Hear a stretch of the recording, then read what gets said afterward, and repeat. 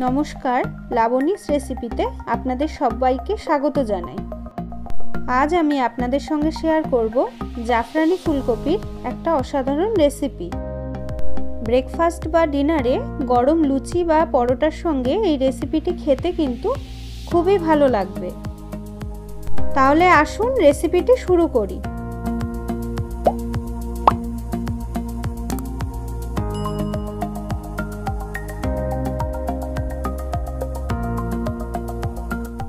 এখানে আমি দুটো ফুলকপি নিয়ে নিয়েছি।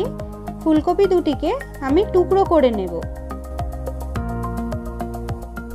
দেখুন, ফুলকপিগুলি আমি এরকম বড় টুকরো করে নিয়েছি এবং পরিষ্কার জলে তিন চারবার ধুয়ে আমি বোলের মধ্যে তুলে রেখেছি। প্রথমে আমি একটা বোলে দশটা কাজু, থ্রি টেবিল স্পুন চার মগজ দেড় টেবিল স্পুন পোস্ত নিয়ে নিলাম। এবার আমি এগুলোকে খুব ভালো করে পেস্ট করে নেব।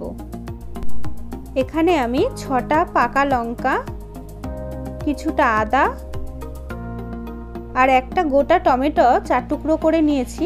এবার এগুলোকে আমি খুব ভালো করে পেস্ট করে নেব। রেসিপিটি তৈরি করার জন্য প্রথমে আমি ফুলকপিটাকে খুব ভালো করে ভেজে নেব। তার জন্য কড়াইতে আমি পরিমাণ মতন তেল দিয়ে দিলাম। যেহেতু আমার ফুলকপির পরিমাণটা বেশি, তাই আমি একটু বেশি পরিমাণেই তেলটা দিলাম।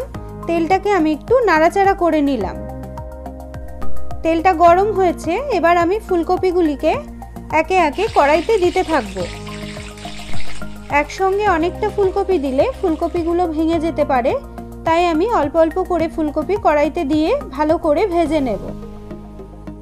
কড়াইতে আমি হাফ টেবিল স্পুন নুন আর ওয়ান টিস্পুন হলুদ গুঁড়ো দিয়ে দিলাম। এবার আমি এগুলোকে ফুলকপির সাথে ভালো করে মিশিয়ে নেব।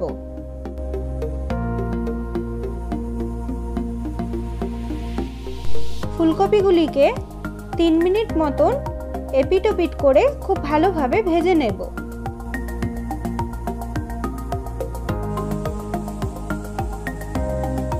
দেখুন ফুলকপিগুলো ভাজা হয়ে গেছে। এবার আমি একটা প্লেটে তুলে নেব।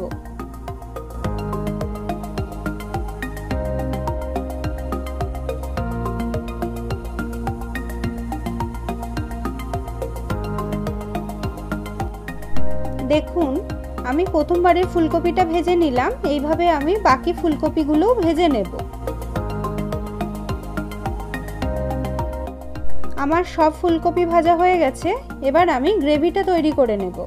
গ্রেভি তৈরির জন্য কড়াইতে আমি আরেকটু তেল দিয়ে দিলাম। তেলটাকে আমি একটু নাড়াচাড়া করে নেব। তেলটা গরম হয়েছে, এবার আমি কড়াইতে দুটো শুকনো লঙ্কা, একটা তেজপাতা, অল্প একটু ডালচিনি, সাত আটটা লবঙ্গ, অল্প একটু জৈত্রী আর ওয়ান টেবিল স্পুন গোটা জিরে ফোড়ন দিয়ে দেব। ফোড়নটা একটু নাড়াচাড়া করে নিলাম।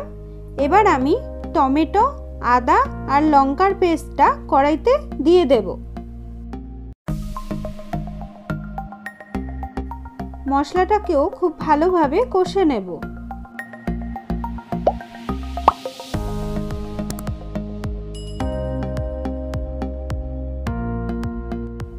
মশলাটাকে খুব ভালোভাবে কষে নিয়েছি।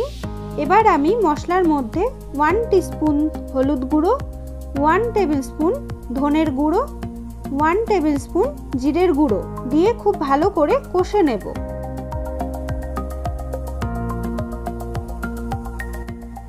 মশলাটা যাতে তলায় ধরে না যায়, তার জন্য আমি অল্প একটু মশলা ধোয়া জল দিয়ে দিলাম।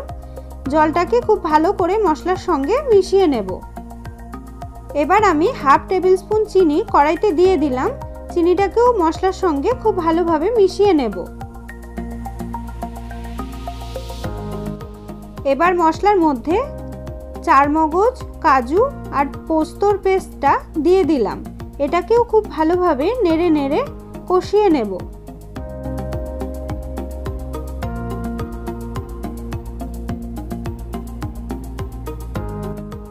মশলাটার মধ্যে অল্প একটু জল দিলাম। জলটাকেও ভালোভাবে মশলার সঙ্গে মিশিয়ে নেব।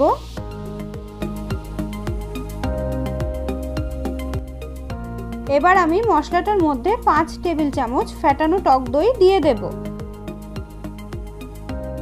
টক দইটাকেও মশলার সঙ্গে খুব ভালোভাবে মিশিয়ে নেব।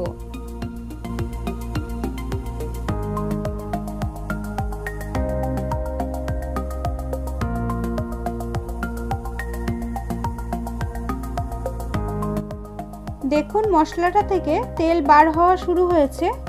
এবার আমি মশলার মধ্যে ভাজা ফুলকপিটা দিয়ে দেব।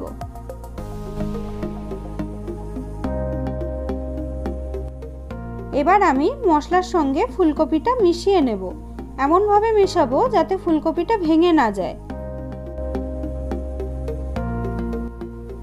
এক মিনিট মতন আমি ধীরে ধীরে ফুলকপিটাকে মশলার সঙ্গে নেড়ে নেড়ে মিশিয়ে নেব। আমি কিন্তু ফ্লেমটাকে লো ফ্লেমে রেখে দিয়েছি। তা না হলে কিন্তু মশলাটা তলায় ধরে যেতে পারে। দেখুন, মশলাটা থেকে তেল বার হওয়া শুরু হয়েছে। এবার আমি পাঁচশো এমএল জল কড়াইতে দিয়ে দেব। ফুলকপিগুলো ভাজার সময় আমি নুন দিয়ে ভেজেছিলাম তাই এখন হাফ টেবিল স্পুন নুন দিয়ে দিলাম, বেশি নুন দিলাম না। আপনারা কিন্তু আপনাদের পরিমাণ মতো নুনটা দেবেন। এবার আমি একটু নেড়ে এটাকে তিন থেকে সাড়ে তিন মিনিট মতন ফুটিয়ে নেব।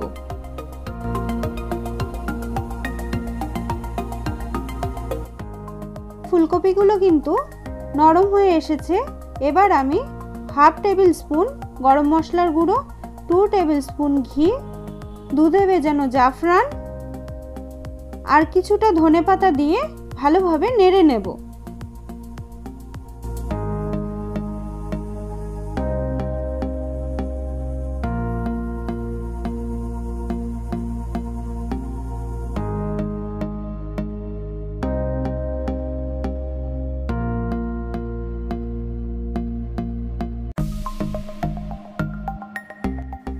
দেখুন, আমার জাফরানি ফুলকপি অলমোস্ট ডান এবার আমি গ্যাস অফ করে দেব আর সার্ভিং প্লেটে তুলে নেব।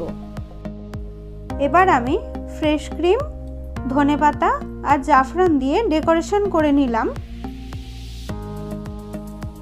দেখুন, আমার জাফরানি ফুলকপি একদম রেডি এই রেসিপিটি আপনাদের কেমন লাগল সেটা অবশ্যই আমাকে কমেন্ট করে জানাবেন। রেসিপিটি ভালো লাগলে অবশ্যই লাইক শেয়ার এবং কমেন্ট করবেন। প্লিজ আমার চ্যানেলটিকে সাবস্ক্রাইব করে দেবেন এবং পাশে থাকা বেল আইকনটি প্রেস করবেন। নতুন রেসিপির ভিডিও আপডেট পেতে আপনারা সবাই খুব ভালো থাকবেন। আপনাদের সঙ্গে দেখা হচ্ছে আবারও নতুন কোনো রেসিপির ভিডিও নিয়ে।